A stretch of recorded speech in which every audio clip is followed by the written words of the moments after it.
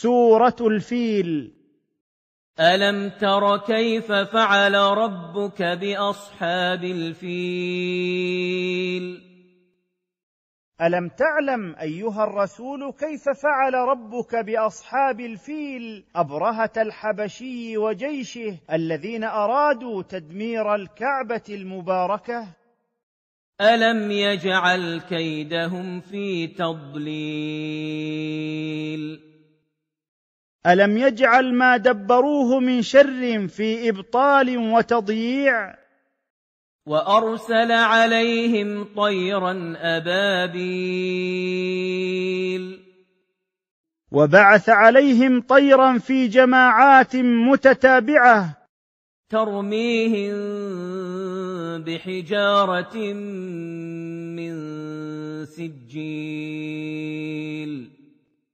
تقذفهم بحجارة من طين متحجر.